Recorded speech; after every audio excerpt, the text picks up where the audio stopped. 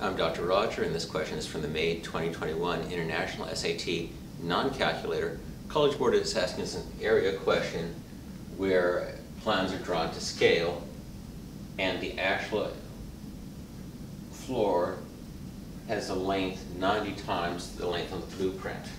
I'm not going to draw something to scale with a factor of 90, but let's suppose on the blueprint it's one by one. So the area equals 1. The actual is much larger. And on the actual, the length is 90 times the length of the drawing. Since my drawing is 1, my actual is 90. And it's square, so it's 90 by 90.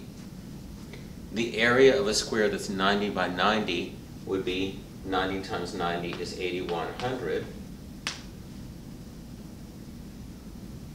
And 8100 is 8100 times the area of the original.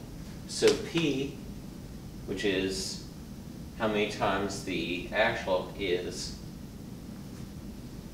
how many times bigger the actual is than the area of the blueprint, the actual is 8100 times the area of the blueprint.